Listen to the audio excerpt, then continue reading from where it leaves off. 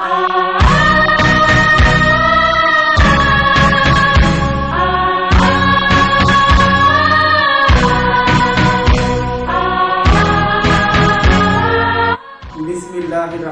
রাহিম। আজ পনেরো আগস্ট জাতীয় শোক দিবস। বাংলার ইতিহাসে এক শোকাবহ দিন। উনিশশো পঁচাত্তর সালের এই দিনে দেশি বিদেশি ষড়যন্ত্রে জাতির পিতা, বঙ্গবন্ধু শেখ মুজিবুর রহমানকে সপরিবারে হত্যা করে ভারতেরা আজ জাতীয় শোক দিবসে ক্যান্টনমেন্ট বোর্ড বালিকা উচ্চ বিদ্যালয় রংপুর সেনানিবাস আয়োজন করেছে বিশেষ অনুষ্ঠান। প্রিয় দর্শক, শ্রোতা, আপনাদের সকলকে আমন্ত্রণ জানাচ্ছি আমাদের বিশেষ অনুষ্ঠান। সুপ্রিয় দর্শক, আপনারা জানেন যে করোনা মহামারীর কারণে শিক্ষা প্রতিষ্ঠান বন্ধ রয়েছে বিগত মার্চ দু সাল থেকে। তাই আজকের অনুষ্ঠান আয়োজন করা হয়েছে অনলাইনের মাধ্যমে। অনুষ্ঠানের শুরুতেই থাকছে বিদ্যালয়ের শিক্ষার্থীদের পরিবেশনায় অনুষ্ঠিত হচ্ছে আম ও নাম আসসালামু আলাইকুম। আমার নাম জান্নাতুন নাইম। আমি পঞ্চম শ্রেণীতে পড়ি। পনেরোই আগস্ট জাতীয় শোক দিবস উপলক্ষে আমি একটি হামদ পরিবেশন করছি। হামদটি লিখেছেন তোফাজ্জল হোসেন খান। আল্লাহ আমার রব, এই রবি আমার সব। আল্লাহ আমার রব, এই রবি আমার সব। দমে দমে তনু মনে তারি অনুভব দমে দমে তনু মনে তারি অনুভব। আল্লাহ আমার রব, এই রবি আমার সব। তোমার দুনিয়াতে আমি যেদিকে তাকাই, অথই নেয়া মতে ডুবে আছে যে সবাই।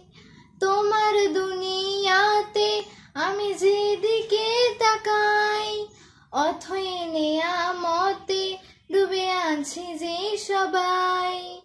পাখ পাখালির গানে শুনি তসবি কলুরব তসবি কলুরব আল্লাহ আমার রব, এই রবি আমার সব। আল্লাহ আমার রব, এই রবি আমার সব। তোমার মদত পেলে আমি আর না কিছু চাই। তোমার প্রেমের অনুল আমি কি দিয়ে নিভাই? তোমার মদত পেলে আমি আর না কিছু চাই। তোমার প্রেমের অনুল আমি কি দিয়ে নিভাই? যার হয়েছ তুমি, তার নেই যে পরাভব। আল্লাহ আমার রব এই রবি আমার সব। আল্লাহ আমার রব এই রবি আমার সব। আসসালামু আলাইকুম। এই পর্যায়ে কবিতা আবৃত্তি করছে সপ্তম শ্রেণির শিক্ষার্থী সুস্মিতা বড়ুয়া। আসসালামু আলাইকুম। আমার নাম সুস্মিতা বড়ুয়া পুনম। আমি সপ্তম শ্রেণির খসাখার একজন ছাত্রী। পনেরোই আগস্ট জাতীয় শোক দিবস উপলক্ষে আবৃত্তি করছি কবি রকুনুজ্জামান খান রচিত মুজিব কবিতাটি। সবুজ শ্যামল বনভূমি মাঠ, নদী তীর বালুচর সবখানে আছে বঙ্গবন্ধু শেখ মুজিবের ঘর। সোনার দেশের মাঠে মাঠে ফলে সোনা ধান রাশি রাশি। ফসলের হাসি দেখে মনে হয়। শেখ মুজিবের হাসি। শিশুর মধুর হাসিতে যখন ভরে বাঙালির ঘর, মনে হয় যেন শিশু হয়ে হাসে চির শিশু মুজিবর। আমরা বাঙালি যতদিন বেঁচে রইব এ বাংলায়, স্বাধীন বাংলা ডাকবে মুজিব, আয়, ঘরে ফিরে আয়। সম্মানিত দর্শক, শ্রোতা, জাতীয় শোক দিবস উপলক্ষে এখন আলোচনা অনুষ্ঠান, অনুষ্ঠানে অংশ নিচ্ছে বিদ্যালয়ের নবম শ্রেণির শিক্ষার্থী তামান্না তাহসিন। আসসালামু আলাইকুম। আজ পনেরোই আগস্ট জাতীয় শোক দিবস। উনিশশো পঁচাত্তর সালের আজকের এই দিনে বঙ্গবন্ধু ও তার পরিবারকে নির্মমভাবে হত্যা করা হয়। নদীমাতৃক এই জনপদের স্বাধীনতায় সার্থক যে মহানায়কের দেখা মিলেছে, তিনি হাজার বছরের শ্রেষ্ঠ বাঙালি বঙ্গবন্ধু শেখ মুজিবুর রহমান। উনিশশো একাত্তর সালের পঁচিশে মার্চ পশ্চিম পাকিস্তানের সেনাবাহিনী কর্তৃক পূর্ব পাকিস্তানের উপর অপারেশন সার্চ লাইট পরিচালনার মাধ্যমে শুরু হয়ে যায় মুক্তিযুদ্ধ। দীর্ঘ নয় মাস যুদ্ধ করে তিরিশ লক্ষ শহীদের আত্মত্যাগে আমরা পেয়েছি নিজস্ব পতাকা এবং মানচিত্রে খচি- খচিত স্বাধীন সার্বভৌম বাংলাদেশ। উনিশশো বাহাত্তর সালের দশই জানুয়ারি বঙ্গবন্ধু স্বদেশ প্রত্যাবর্তন করেন। আর এরপরেই তিনি যুদ্ধবিধ্বস্ত বাংলাদেশকে পুনর্গঠনের কাজে ব্যস্ত হয়ে পড়েন। মাত্র সাড়ে তিন বছরে তিনি যুদ্ধবিধ্বস্ত বাংলাদেশ পুনর্গঠনের সফলতা দেখিয়েছেন। কিউবার নেতা ফিদেল ক্যাস্ট্রো বলেছেন, আমি হিমালয় দেখিনি, কিন্তু শেখ মুজিবকে দেখেছি। ব্যক্তিত্ব ও সাহসে এই মানুষটি হিমালয়। উনিশশো পঁচাত্তর সালের পনেরোই আগস্ট বঙ্গবন্ধুকে ও তার পরিবারকে একদল বিপদগামী সৈন্য সদস্য নির্মমভাবে হত্যা করে। বঙ্গবন্ধুর মৃত্যুর পর তার চেতনায় উজ্জীবিত হয়ে বাংলাদেশ অনেক দূর এগিয়ে গিয়েছে। শিক্ষা, স্বাস্থ্য, যোগাযোগ তথ্য প্রযুক্তি হাইটেক পার্ক নির্মাণ, বঙ্গবন্ধু এক স্যাটেলাইট উৎক্ষেপণ, আইটি মেলার আয়োজন কৃষি ও খাদ্যের স্বয়ংসম্পূর্ণতা ছাড়াও আরও নানা খাতে এগিয়ে গিয়েছে বাংলাদেশ। বঙ্গবন্ধুকে হত্যা করলেও তারা বঙ্গবন্ধুর চেতনায় উদ্বুদ্ধ বাঙালি জাতির স্বপ্নকে হত্যা করতে পারেনি। বঙ্গবন্ধুর চেতনায় উজ্জীবিত ও উদ্বুদ্ধ হয়ে বাংলাদেশ আরও অনেক দূর এগিয়ে যাবে এই প্রতিশ্রুতি ব্যক্ত করে আমি আমার বক্তব্য শেষ করছি। ধন্যবাদ। প্রিয় দর্শক শ্রোতা, আলোচনা অনুষ্ঠানের এই পর্যায়ে শিক্ষক মণ্ডলীর পক্ষ থেকে বক্তব্য পেশ করছেন বিদ্যালয়ের সম্মানিত সিনিয়র শিক্ষক জনাব আফসার আলী আলী। রহমান আগস্ট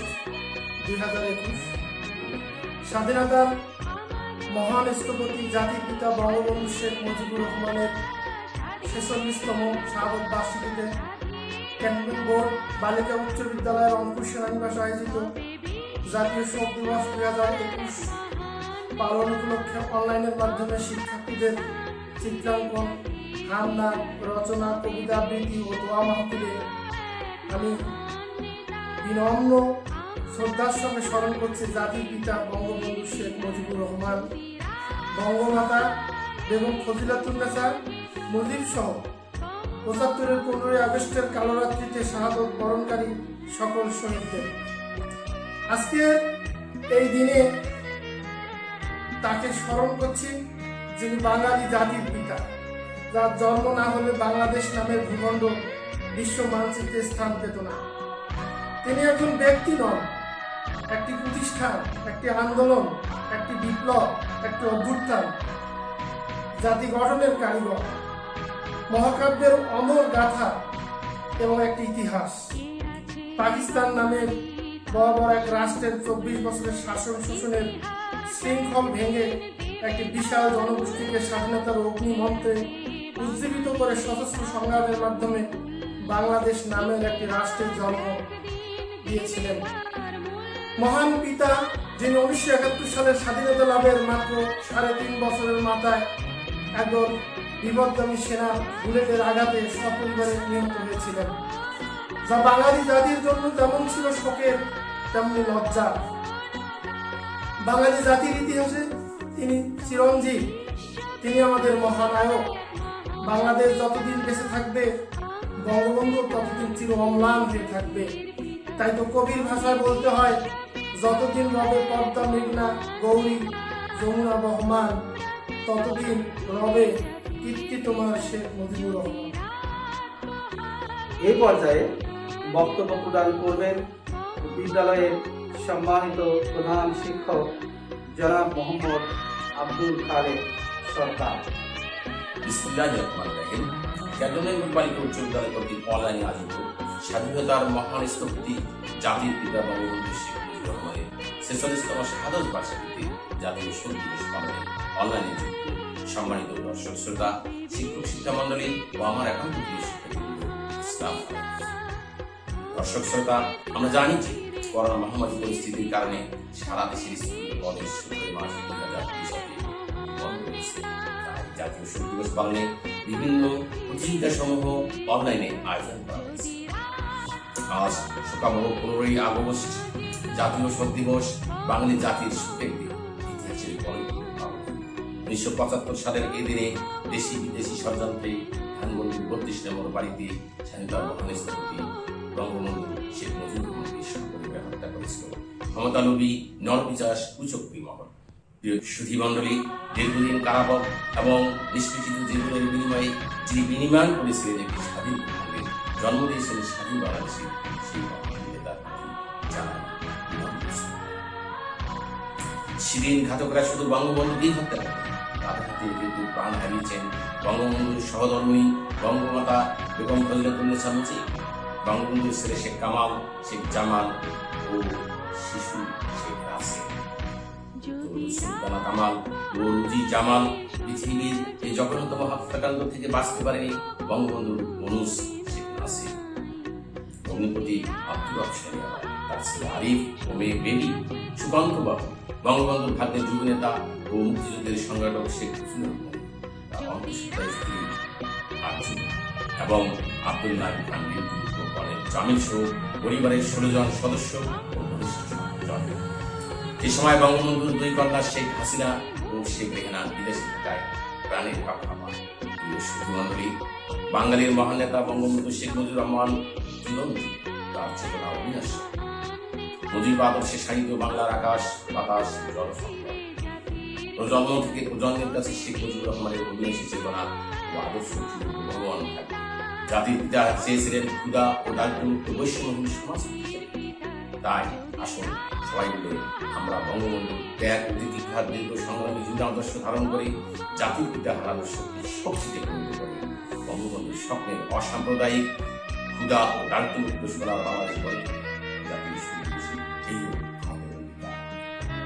পরিশেষে মহান আল্লাহ তালার কাছে পনেরোই আগস্টে শাহাদত বরণকারী স্বাধীনতার মহান স্থপতি জাতির পিতা বঙ্গবন্ধু শেখ মুজিবুর রহমান সহ সকলের আত্মার মাকফিরাত প্রার্থনা এবং সেই সাথে আমরা যেন সকলেই করোনা মহামারীর স্বাস্থ্যবিধি মেনে সামাজিক দূরত্ব বজায় রেখে সুস্থ থাকি, ভালো থাকি এই কামনা করে বক্তব্য শেষ করছি।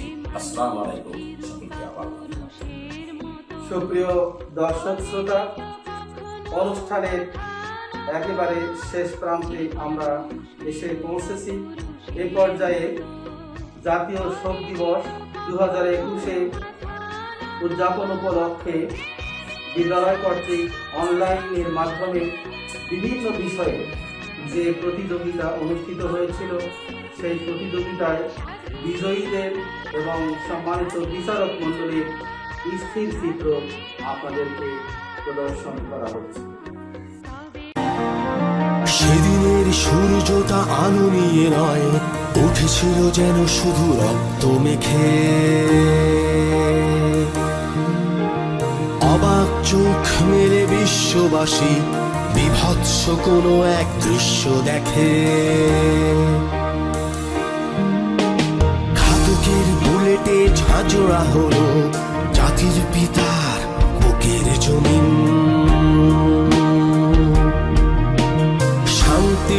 লাখো পাখি উড়ে গেল।